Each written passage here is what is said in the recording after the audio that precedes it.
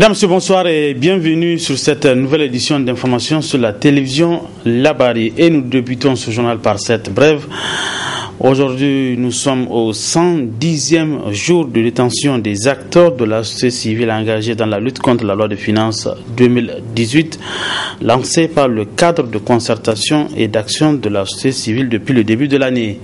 Il s'agit de Ali Idrissa Durotab, également directeur général du groupe de presse Labari, Moussa Atechangari de l'association Alternative Espace Citoyen, nous, Mamadou Arzika et Maître Lerouhan Abdraman du MPCR et plusieurs autres personnes. Ils ont été tous arrêtés le 25 mars 2018 et incarcérés dans les prisons civiles de la région de Tilaberi. Parti comme suit. Ali Idrissa est incarcéré à Pilengue. Nous, Mamadou Arzika, détenu à Tilaberi. Moussa Atechangari à la prison civile de Wallam. Maître Louana Abdrahman à Dekena. Deux autres acteurs de la société civile qui sont aussi à leur 89e jour de prison. Il s'agit de Michael euh, Zodi du mouvement Tournant la page et Diori Ibrahim de Alternative Espace Citoyen, arrêté dans le même cadre le 15 avril dernier. Le premier est gardé à la prison civile de Essaï et le second à celle de Kolo. À Zender également, deux autres acteurs de la société civile, Yahya Badmassi d'Alternative Espace Citoyen et Sadat Ilia Damalam du MPCR, continuent à garder prison pour leur détermination dans le combat contre la loi de finances 2018, le procès de la première vague composé de Noir Zika, Alidrissa Changari, Maître Luan Abdraman et les autres a eu lieu le mardi 10 juillet 2018 dernier euh, au tribunal de grande instance hors classe de Niamey et le délibéré est prévu pour ce 24 euh, juillet, Inch'Allah. L'actualité de ce jour, le haut commandement de la garde nationale a servi de cadre ce matin pour la cérémonie de réception de 10 véhicules 4x4 et 100 motos d'été destinés à la direction générale de l'État civil. C'est un geste de l'UNICEF avec l'appui financier de l'Union européenne et c'est le secrétaire général du ministère de l'Intérieur qui a réceptionné ce matériel. C'était en présence de notre reporter Hassan Salem. Cet important don logistique viendra améliorer les conditions de travail des agents d'état civil dans le cadre de leur mission d'établissement d'actes d'état civil sur l'ensemble du territoire national. Il y a quelques semaines de cela, il était en CM2. Il avait dû redoubler sa classe l'année dernière parce qu'il n'avait pas d'acte de naissance. Il ne pouvait pas passer en sixième. Cette année, par contre, grâce à l'amélioration des services d'état civil, il a finalement pu avoir son certificat de naissance et passer au collège.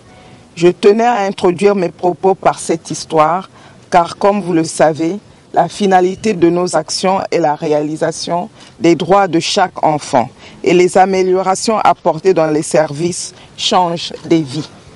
Je voudrais saisir cette opportunité pour féliciter le gouvernement du Niger pour les performances réalisées en une décennie, avec plus de deux tiers des naissances attendues dans l'année qui sont enregistrées dans les délais prévus par la loi. Ces progrès considérables sont sans nul doute les fruits d'une volonté politique du gouvernement. L'Union européenne soutient fermement les initiatives de l'État du Niger qui ont pour but l'amélioration de l'état civil par des programmes d'appui aux réformes comme aujourd'hui le PARIC. Car nous en sommes tous persuadés, un État doté d'un État civil fonctionnel et efficace répond pleinement au premier droit fondamental du citoyen qui est d'être reconnu par sa nation qui lui octroie une identité nationale. En recevant ces motos et ces véhicules 4x4, le secrétaire général du ministère de l'Intérieur a réaffirmé la reconnaissance du gouvernement nigérien à l'endroit de l'Union européenne et de l'UNICEF, toujours aux côtés des autorités. Le Niger a pris une trajectoire qui lui permet d'être cité comme exemple dans le cadre de l'état civil. Car nous sommes partis pratiquement de 34%, maintenant nous acheminons vers 65% de couverture d'état civil et je crois que c'est tout cela qui est reconnu par vous pour nous permettre davantage pour que désormais chaque Nigérien qui naisse puisse avoir son acte de naissance. Et avec ce matériel, avec cet effort et avec le programme d'appui hein, pour la réforme de l'état civil, le PAREC, hein, que vous venez de mettre à notre disposition 10 véhicules, dont 8 pour les régions, 2 pour le niveau central, et 100 motos pour les 63 départements du Niger et les 37 communes urbaines qui n'ont pas reçu de motos dans le cadre du premier programme. Le secrétaire général du ministère de l'Intérieur a aussi rassuré les donateurs que ces moyens roulants seront utilisés à bon escient conformément aux engagements pris par le gouvernement, l'Union européenne et l'UNICEF. Cet appui d'une valeur de plus de 340 millions de francs CFA va contribuer à la modernisation du système d'état civil nigérien et permettra également à l'État de disposer de données démocratiques fiables à jour. Parlons santé dans ce journal. Elles sont au nombre de 12 les maladies dont la prise en charge de leur euh, prévention à travers la vaccination sont entièrement prises en charge au Niger. Des vaccins qui sont disponibles pour une couverture vaccinale globale. Le reportage est signé Nefis et sont nombreuses les formes de maladies auxquelles les services de santé nigériens offrent des préventions aux populations en général et aux enfants de 0 à 11 mois en particulier. Des préventions qui se font à travers la vaccination au quotidien dans toutes les formations sanitaires et la vaccination de masse communément appelée campagne ou activités de vaccination supplémentaires. Le programme élargi de vaccination communément appelé PEV existe depuis 1987 et a fait beaucoup d'efforts. À la création, c'était cette maladie. Aujourd'hui, nous avons 12 maladies que nous contrôlons. C'est ce qu'on appelle les maladies évitables par la vaccination, qui sont au nombre de 12.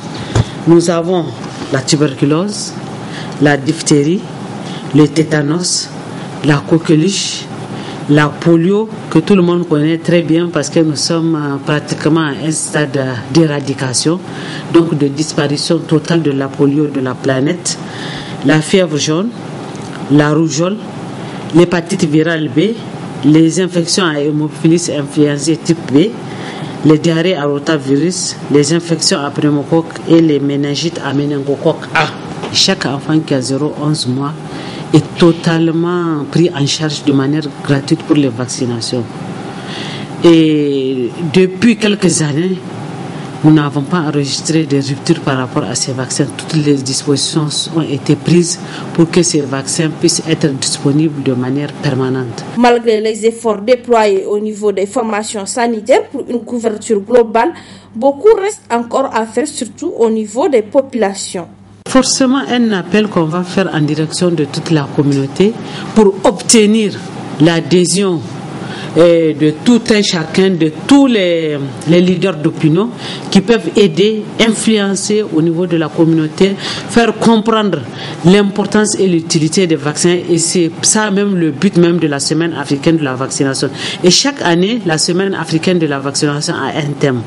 Le thème de l'année 2018, c'est les vaccins, ça marche faites votre part. Donc nous avons cherché l'adhésion de tous les acteurs pour qu'ils puissent vraiment appuyer et aider parce que c'est le bénéfice de toute la communauté. Pour rappel, depuis des années déjà, des vaccinations contre la tuberculose, la diphtérie, le tétanos, la coqueluche, la poliomyélite, la fièvre jaune, la rougeole, l'hépatite B, les infections à hémophilus influenza type B, les diarrhées à rotavirus, les infections à la pneumocoque et la méningite à la méningocoque A sont disponibles et gratuites sur toute l'étendue du territoire nigérien.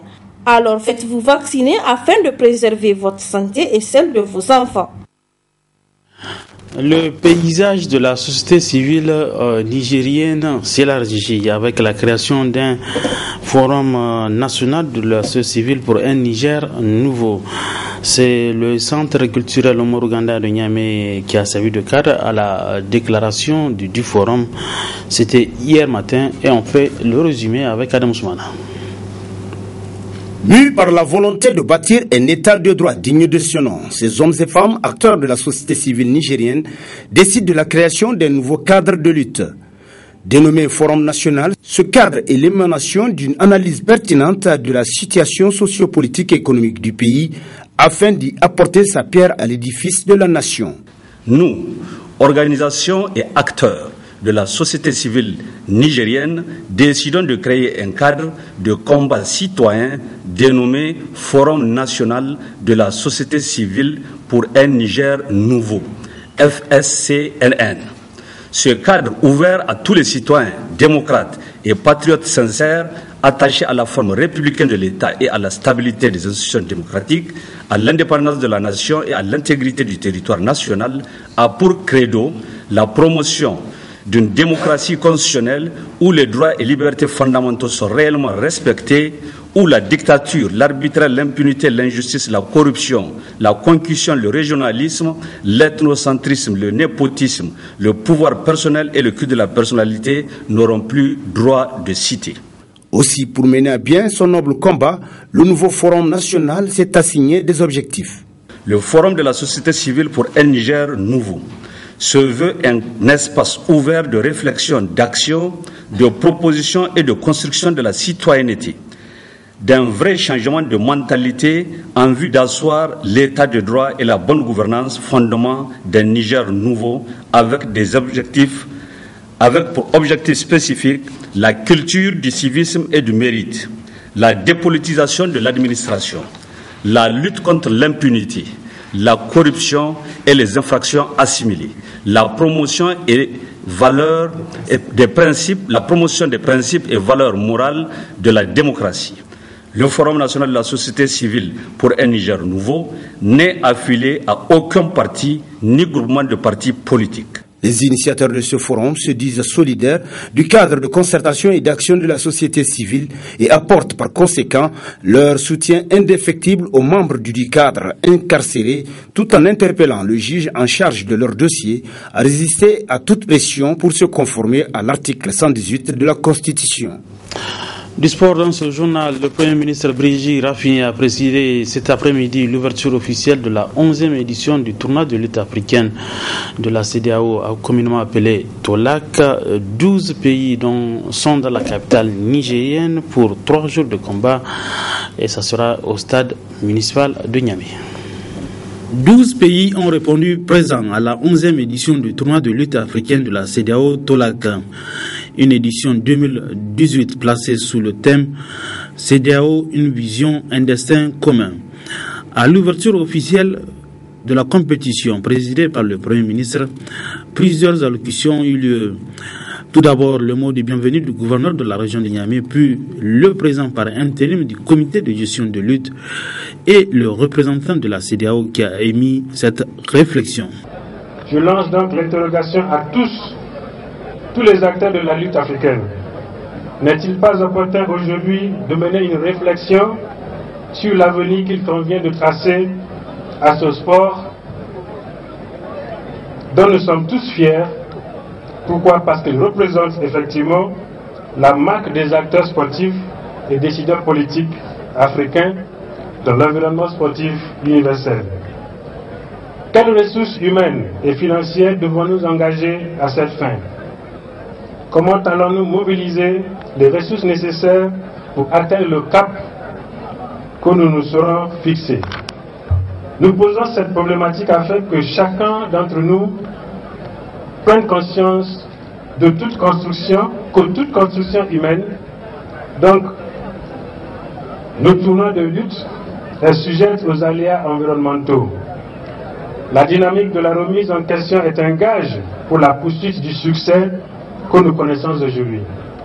J'invite donc les uns et les autres, acteurs sportifs, intervenants institutionnels, partenaires du privé et du secteur privé, à s'investir dans une réflexion stratégique afin d'aboutir à des schémas de mobilisation de ressources nous permettant d'offrir aux populations le meilleur cadre d'expression de nos valeurs africaines.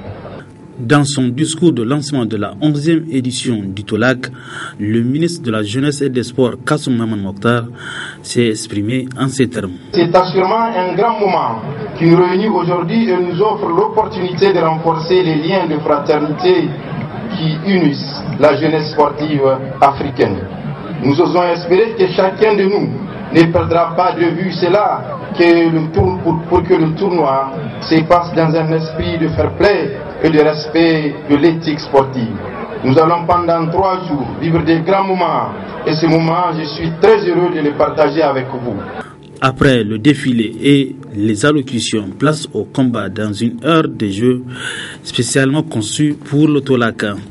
Le stade municipal de Niamey sera donc le point d'attraction pendant trois jours pour des combats de lutte âpres entre les lutteurs de l'espace CDAO. En sport, toujours, notons le tirage au sort euh, ce matin des demi-finales de la Coupe nationale, cette fois-ci du football, la Coupe nationale de football édition 2018. Et les, les, combinaisons donc des demi-finales sont les suivantes. Euh, Racing FC de Niamey qui jouera contre Jean Gorzo FC de Maradi et le choc euh, Ice Garde National Ice Nigelec. Voilà donc les deux affiches des demi-finales de la Coupe nationale de football édition 2018. Euh, les matchs euh, vont se jouer en aller et retour à partir entre donc les 15 et 22 euh, juillet 2018. Sur ce, prend fin cette édition d'information. Mesdames et messieurs, merci à vous de l'avoir suivi. Bon week-end à tous. Bonsoir.